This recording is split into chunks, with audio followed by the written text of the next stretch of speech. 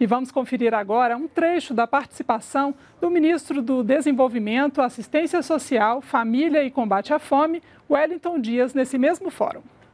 Então, começando, ministro Wellington Dias, então, satisfação tê-lo aqui conosco, prazer, é, é, parabéns pelo, pelo trabalho realizado no estado do Piauí e o trabalho que já vem realizando no início desse novo governo. É, bom, o, o ministério que, que, o senhor representa tem um objetivo grande né, de, de, desenvolver programas de, de, assistência à população, indo além do, da garantia de um, de um, rendimento mínimo, mas também é, serviços voltados ao acesso à saúde e assistência social como um todo. É, como que o senhor enxerga a, a utilização dos, a, a, utilização dos projetos em parceria com a iniciativa privada de infraestrutura social com, no contexto de alavancar esses benefícios e essa agenda? Bom, primeiro, também quero agradecer aqui a oportunidade.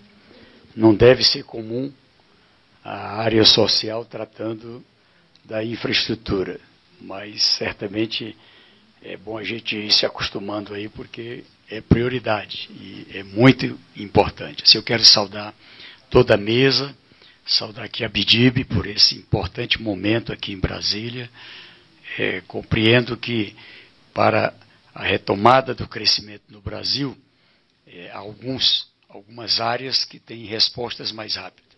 E a infraestrutura é uma delas.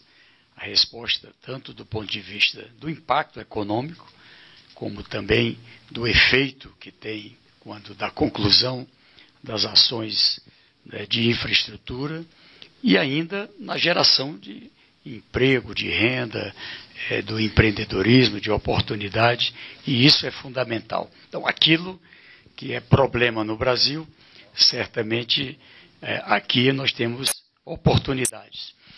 E o desejo do presidente Lula é que se tenha uma infraestrutura focada no econômico, mas também com esse olhar para o social. Ah, tivemos há poucos dias lá em Santo Amaro com a Caixa Econômica Federal, a nossa querida Rita Serrana, e ali com o governador Jerônimo e tantos líderes, entregando a habitação. A habitação. Obras que estavam ali há muito tempo se arrastando ali, concluindo. Fizemos a mesma coisa em Jaboatão, muito recentemente lá, Jaboatão do Guararapes, em Pernambuco.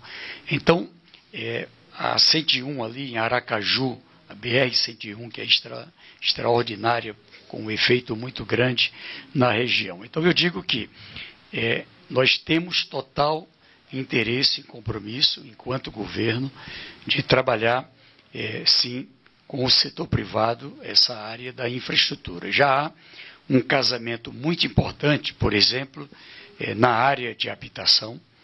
Destaco também nessa área da educação, onde, na prática, com várias modelagens, é, o setor privado ele complementa a educação, inclusive para pessoas de baixa renda. Destaco o FIES como exemplo.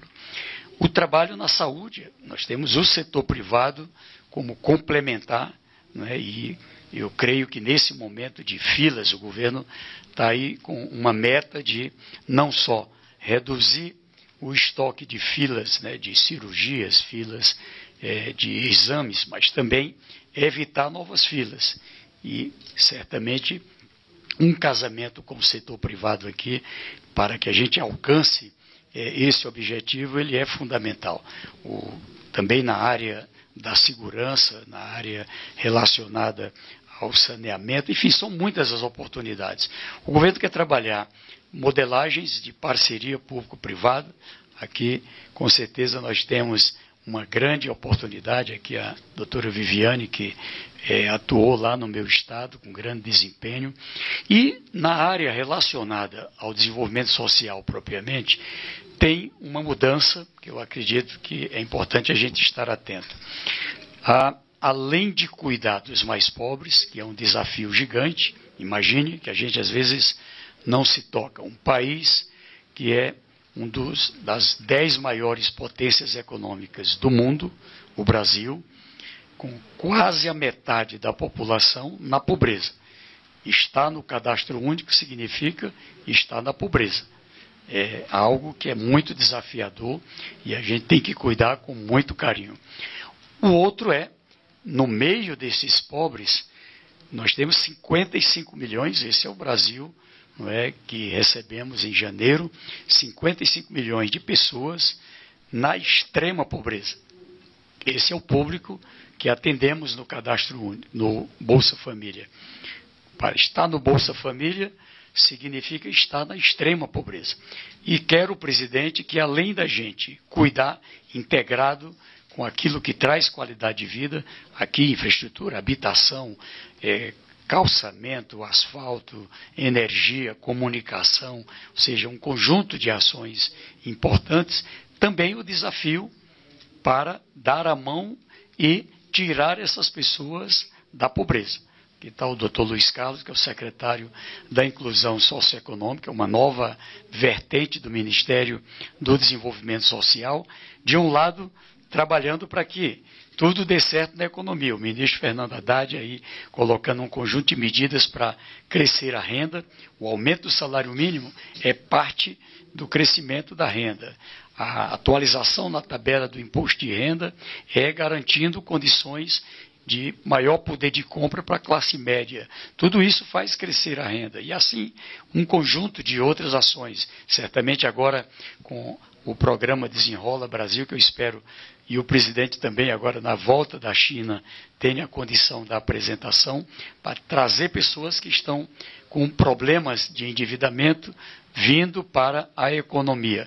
E tudo isso, certamente, é, vai exigir, é, por parte da população com maior poder de compra a condição de uma infraestrutura melhor. E aqui da nossa parte, trabalhando para que se trabalhe todas as áreas da infraestrutura, mas com um olhar especial à infraestrutura que garante qualidade de vida para quem mais precisa, portanto, para o social. Essa foi a participação do ministro do Desenvolvimento, Assistência Social, Família e Combate à Fome, Wellington Dias, no Fórum Avanços na Infraestrutura e Reindustrialização.